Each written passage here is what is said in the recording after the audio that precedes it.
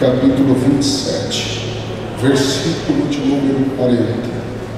E dizendo: Tu que destróis o templo, e em três dias o reedificas, salva-te a ti mesmo, se és filho de Deus, desce da cruz. Se és filho de Deus, desce da cruz. Eu vou pedir para você liberar uma palavra profética para esse tocha que está do seu lado, ainda sobre os seus pés. Ninguém se assente agora. Eu sei que ele não vai me decepcionar. Ele é pentecostal. E todo pentecostal que recebe uma palavra profética, ele não consegue ficar de boca fechada.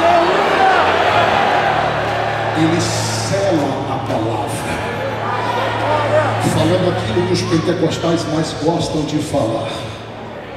Glória. Aleluia. É hoje. É como posse.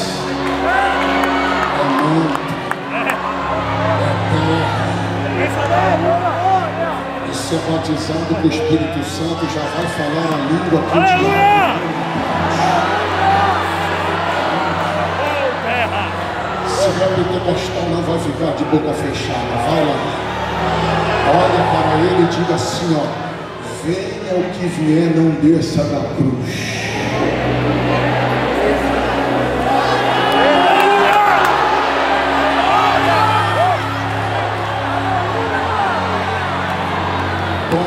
Assento, se é pentecostal, faz o barulho que o diabo não gosta.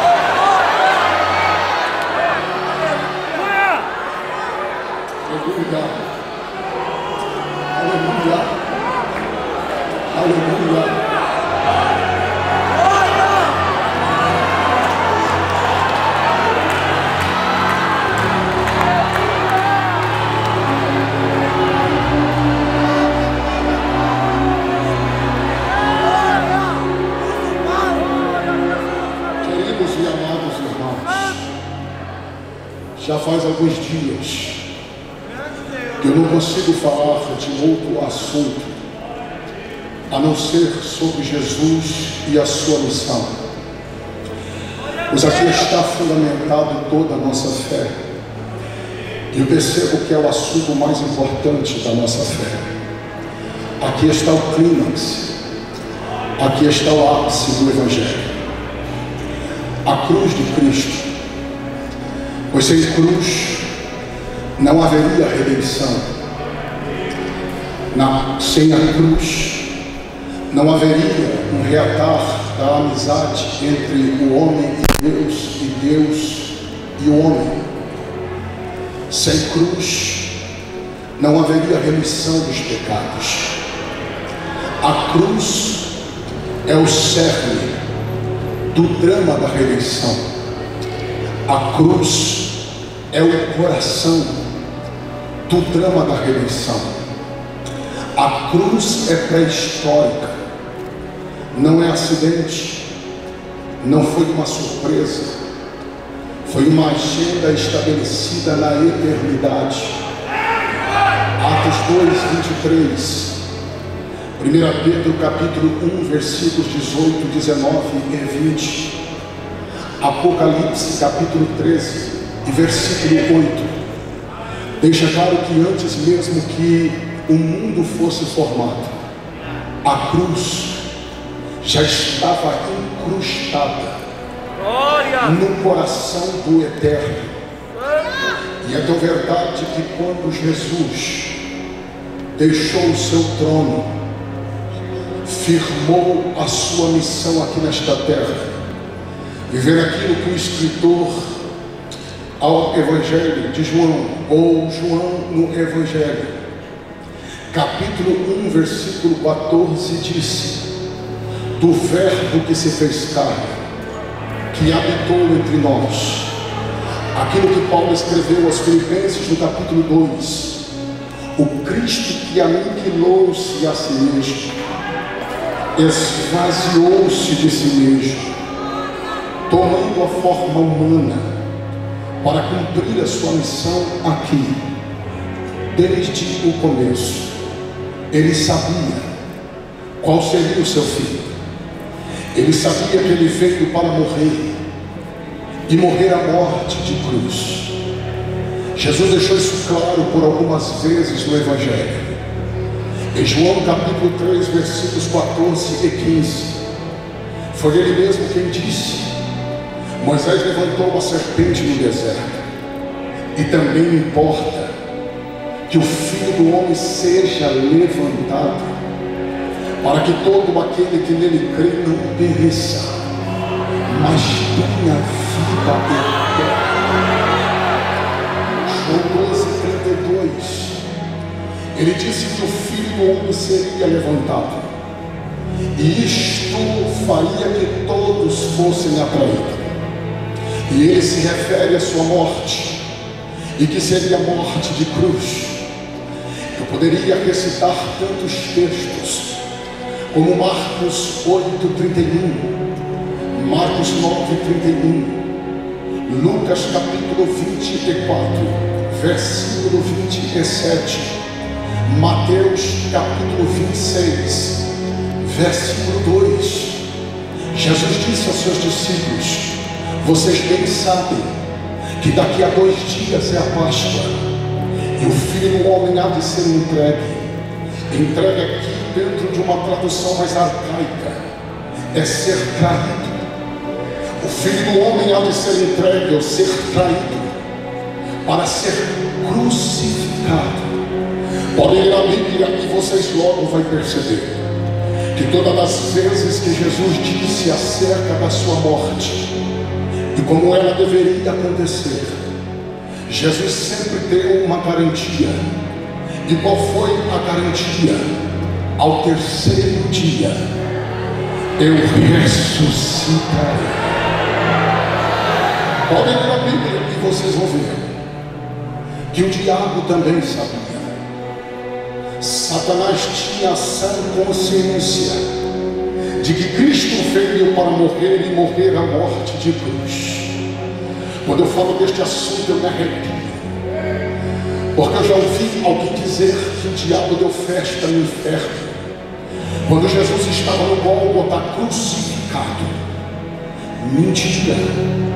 Satanás entrou em desespero. Porque tudo que o diabo menos queria era que Jesus morresse a morte de cruz. O diabo tinha sã consciência da profecia de Gênesis capítulo 13, versículo 15, da semente que viria da mulher e que pisaria sua cabeça. Inclusive nas entrelinhas do texto está o Calvário. O primeiro pregador a falar sobre o Calvário foi o próprio Deus. Deus foi o primeiro a falar da cruz. Em Gênesis 3,15, ali está o Calvário. E é por isso que o diabo sempre fez de tudo para matar Jesus fora da cruz. Pode ler a Bíblia e vocês vão ver. Quando Jesus nasceu, Jerusalém ficou agitada. E diz a Bíblia Sagrada que assim que o mundo espiritual percebeu que a criança que havia acabado de nascer não era qualquer criança, Satanás logo investiu no coração de Herodes para matar Jesus ainda criança, pois o diabo sabia que se Jesus morresse a morte de cruz, pelo menos três coisas iriam acontecer. Primeiro, o pecado seria vencido. Segundo, a morte seria vencida. Terceiro, o diabo seria vencido. É por isso que ele entra no coração de Herodes para tentar matar Jesus ainda criança. Pode ler a Bíblia e vocês vão ver. Não é a mensagem, mas só nos tocha começar a preparar o pulmão para a gente acordar São Paulo inteira. Mateus escreveu que tanto Herodes como os que procuravam a morte do menino morreram. Mas Lucas diz que Jesus crescia. Herodes morreu, mas Jesus crescia. Herodes morreu, mas Jesus se fortalecia. Herodes morreu, mas Jesus prosperava. Quando o diabo percebeu que não tem para usar Herodes, ele investe no coração dos religiosos de Nazaré. Lucas capítulo de número 4. O texto diz que ele entrou no coração dos religiosos de Nazaré, que ficaram com inveja da unção que estava sobre Jesus. Porque quem não tem, percebe quem tem. Quem não tem, quer parar quem tem. Quem não tem, tem inveja de quem tem. Quem não tem, tem dor de cotovelo de quem tem. Quem não tem, se levanta contra quem tem. Mas o Pai dá para quem quer, na hora que quer, do jeito que quer. Pode ler a Bíblia. E eu sei que os tochas já está doido para me liberar. Mas avivamento sem Bíblia não é um genuíno avivamento. Para tanto podem ler a Bíblia. E eles pegaram a Jesus, levaram para cima do monte do precipício e tentaram matá-lo jogando o morro abaixo, mas não teve êxito. Jesus escapou, o diabo não conseguiu. Podem ler a Bíblia, podem permear por dentro das páginas seletivas da narrativa dos evangelistas, e você logo vai perceber que todas as vezes que o diabo tentou matar Jesus fora da cruz, o texto termina dizendo que eles não conseguiam eu acho interessante Mateus capítulo 26, versículos 3, 4 e 5. Pois Satanás se vestiu de forma tão baixa que entrou no coração dos religiosos de Nazaré, que se reuniram na sala de Caifás para tomar chazinho, não, para comer bolachinha também não, para tomar café também não, para tramarem como prenderiam a Jesus. E se eu fosse falar da sala de Caifás, quando as salas de Caifás ainda existem no dia de hoje, pessoas que se reúnem para armar uma estratégia para parar aqueles que Deus levantou na terra.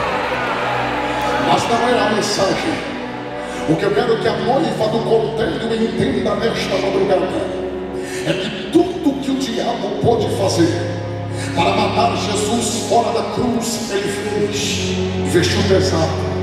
Usou gente cética, ímpia, maldosa. Mas Jesus, em João capítulo 19, versículo 17, ele pega a sua cruz, ele coloca em suas costas e parte para o lugar chamado Gólgota, pois todos os passos de Jesus aqui nesta terra foi em direção da cruz. Seu olhar, cruz. Suas ações, cruz. Seus atos, cruz. Jesus saiu do céu com uma missão. Uma missão dada. Tinha que ser cumprida. Quem conhece o texto e o contexto sabe muito bem acerca do método de tortura romana. E a história fala que bateram nele, rasgaram as suas vestes, teceram uma coroa de espinho, colocaram em sua cabeça, em tom de zombaria, cuspiam nele, blasfemavam contra ele. Mas o que me chama a atenção é que a história paralela à Bíblia chega a dizer que muitos que passavam por aquele processo não conseguiam permanecer de pé. Jesus suportou, Jesus aguentou, Jesus foi até o fim. E para você começar a dar glória, quando Jesus chega no Gólgota e a cruz é levantada, parece que eu posso ver o inferno entrando em desespero total. Satanás, chefe, quem sabe, olha para os seus demônios e diz: Nós temos que fazer alguma coisa, e tem que ser agora, tem que ser a caráter de urgência, porque se este homem, no alto desta cruz, dar o brado final, tetelestai, está consumado. A casa vai cair para nós por completo. E o diabo vai entrar em desespero total. O desespero de Satanás foi tão grande que ele investiu embaixo. Entrou no coração de gente maldosa que olhava para a cruz, meneava a sua cabeça e dizia: Se és o filho de Deus, desce da cruz. Ou seja, você não é o Cristo, você não curou cego, não levantou paralítico, você não andou sobre as águas, desce da cruz, salva-te a ti mesmo. Era o diabo fazendo fiquinha no inferno. Satanás, quem sabe, dizia: Ele vai se render agora, ele não vai aguentar, ele não vai suportar. A pressão está grande. O que me chama a atenção é que Jesus não desceu da cruz. A pressão está grande, mas Jesus não desceu. O diabo está fazendo de tudo, mas Jesus não desceu. Satanás está investindo pesado, mas Jesus não desceu. Aleluia. Eu não sei até quando eu vou me aguentar aqui, mas segura para dar glória agora. Porque, pastor, se você não marcar nada do que eu vou pregar, e o tema da minha mensagem nesta madrugada é as aparentes perdas do Calvário. Se você não marcar nada do que eu vou pregar, marque só esta palavra. E qual é a palavra, pastor? Jesus não desceu. Porque se Jesus desce, nós desceríamos ao inferno. Tudo que o diabo queria era que Jesus descesse da cruz para mostrar poder, porque esta era toda a perspectiva voltada naquele momento. Um Cristo, um Messias, que revolucionaria o estado político de Israel, libertaria os judeus do jugo romano, e era esta a estratégia de Satanás. Que Jesus descesse da cruz para mostrar poder. Eu me arrepio quando eu falo isto, porque aqui está o coração do Evangelho. Jesus, ao permanecer na cruz, não é poder, poder é se desce. Na cruz, ele mostra amor. Na cruz, ele mostra amor.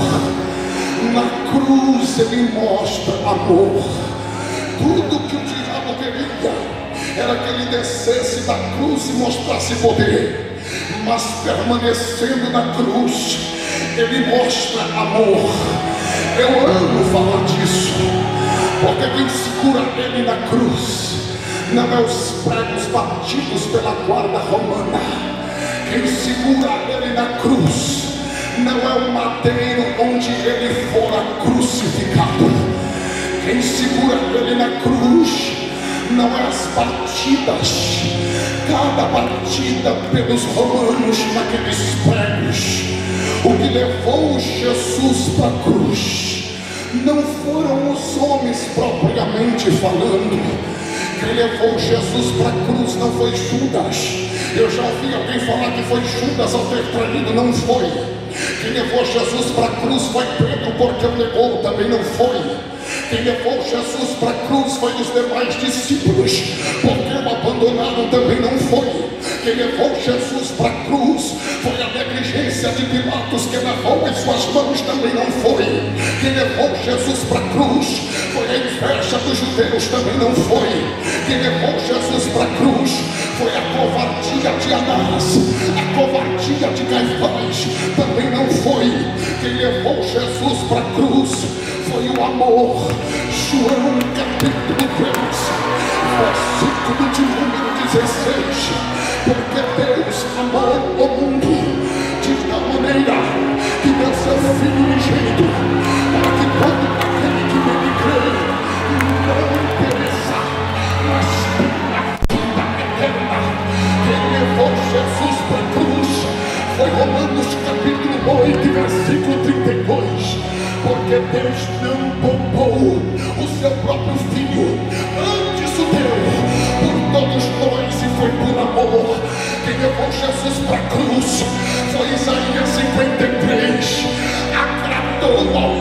e foi por amor.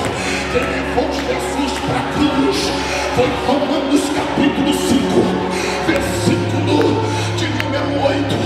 Deus prova o seu amor para conosco em que deu seu filho Jesus por nós, ou para morrer por nós, sendo nós ainda pecadores. Lá vai. Satanás não gosta de ouvir o que eu vou falar, mas eu vou liberar. Qual é a palavra? O diabo te odeia, mas Jesus te ama. Satanás não gosta de você, mas Jesus te ama. O diabo não vai para tua cara, mas Jesus te ama. Noiva do cordeiro, glória. Levante as mãos para cima Levante as mãos agora, glória. Eu vou começar a liberar a profecia. Mas eu tenho uma palavra para quem tem glória na boca. Qual é a palavra? Tudo que o diabo menos queria era que você estivesse aqui nesta madrugada. Tudo que o diabo queria era matar eu e você. Com o nariz cheio de cocaína, com cigarro de maconha na boca, com ferro na cintura, pagando de bandido aí fora mas o diabo perdeu. Jesus!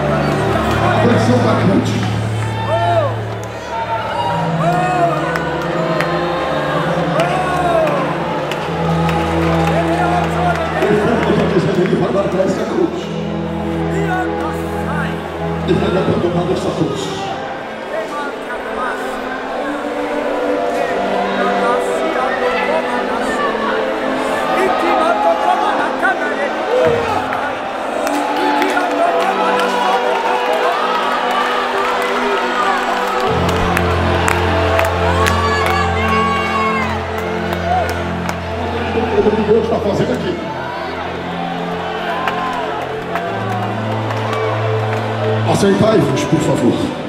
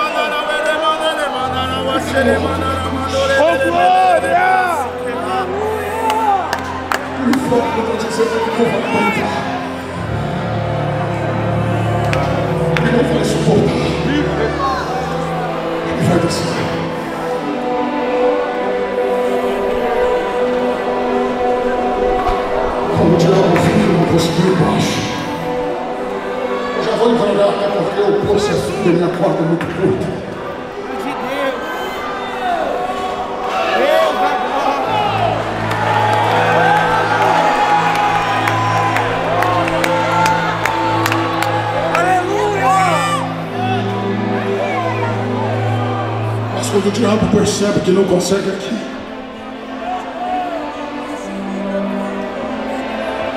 ele investe lá.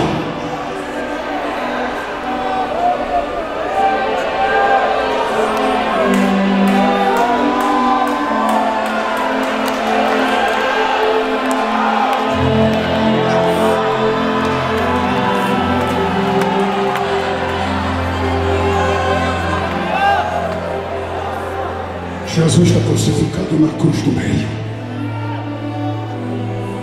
Tem dois ladrões. Um está à sua esquerda. O outro está à sua direita. E o povo está de pé na Adebrais. Oh!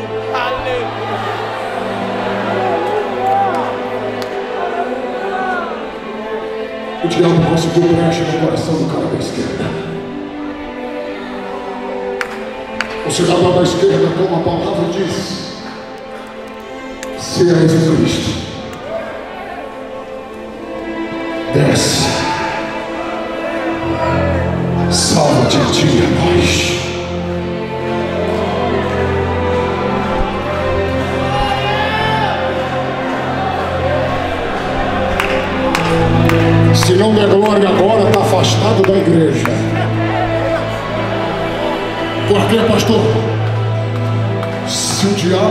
coração do da esquerda, o Espírito Santo encheu.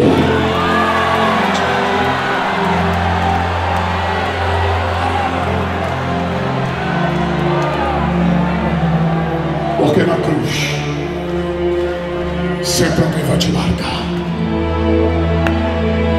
Mas na cruz sempre Deus vai levantar alguém para te abraçar.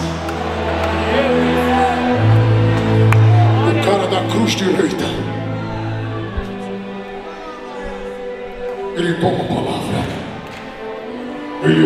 Ele olha para o cidadão da esquerda e manda calar a boca. E qual é a palavra, pastor? Nós estamos aqui porque temos erro. Temos culpa no cartão.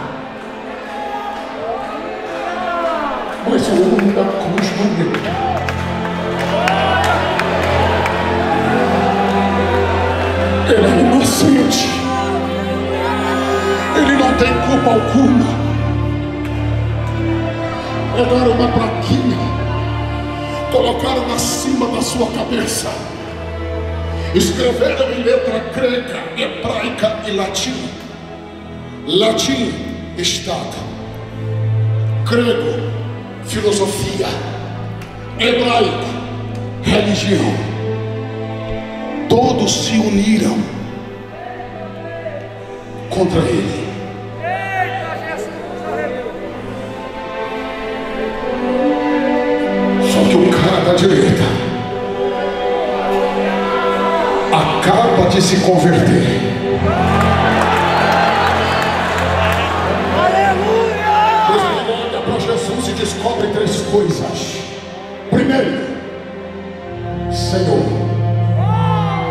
Segundo, lembra-te de mim.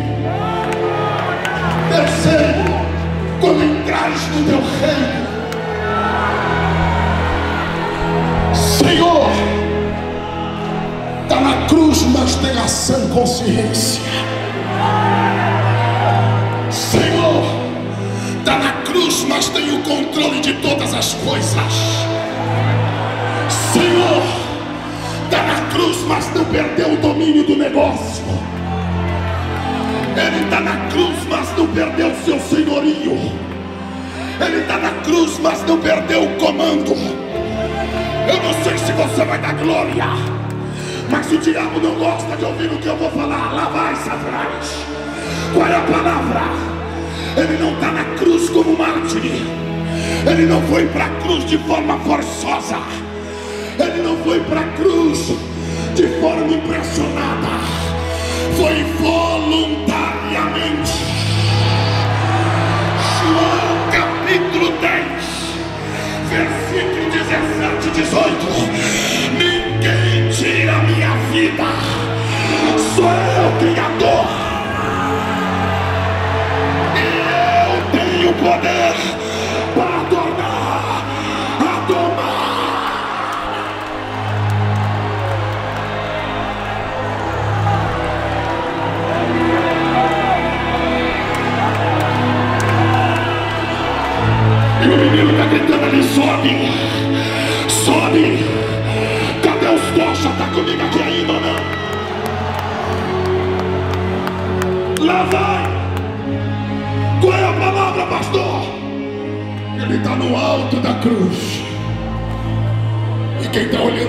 baixo para cima?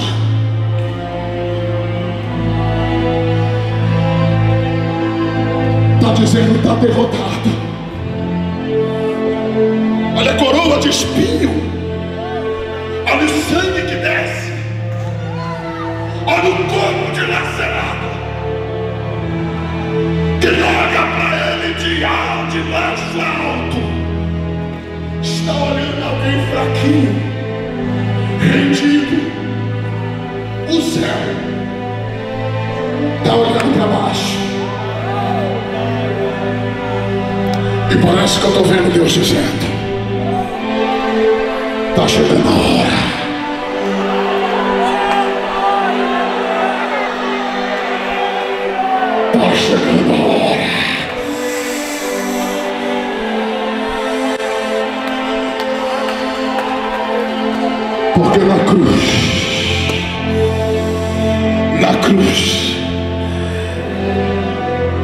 Diabo não venceu ele, a morte não venceu ele.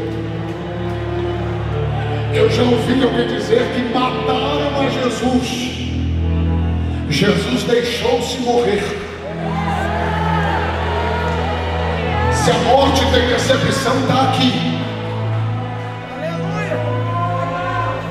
Ela não matou a Jesus. Que a Bíblia, Aleluia. Pai,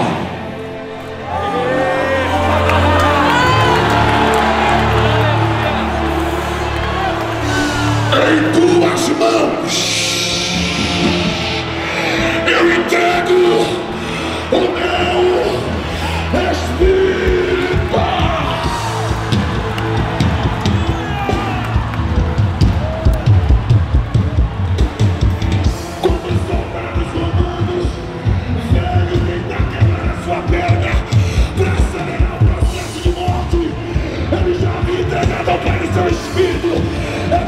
Paulo escreveu: Onde está a morte?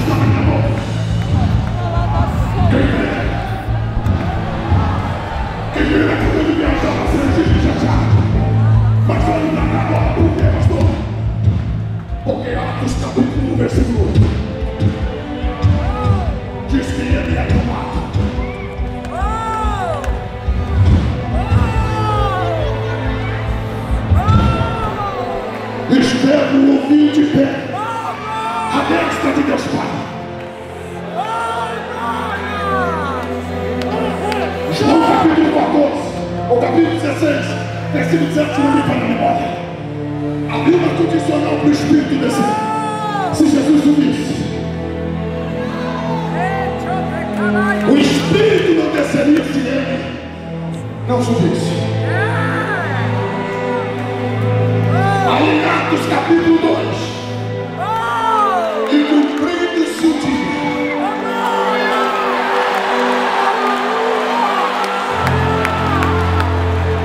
Eu gosto da tradição que eu estou usando, que o chegado ao dia.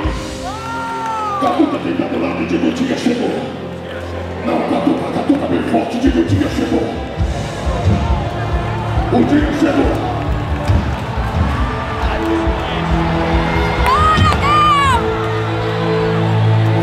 E chegado o dia, aí cumprindo-se o dia de Pentecoste, estavam todos reunidos no mesmo lugar. E de repente, céu um som, não é da terra do céu, porque avivamento não é obra da terra, avivamento é obra extraordinária de Deus. Homem não fabrica avivamento, avivamento é obra divina. Eu posso interceder por um avivamento. Aviva! Aviva a tua obra! Mas quem manda avivamento é o céu. Veio do céu o som, de um vento veemente e impetuoso,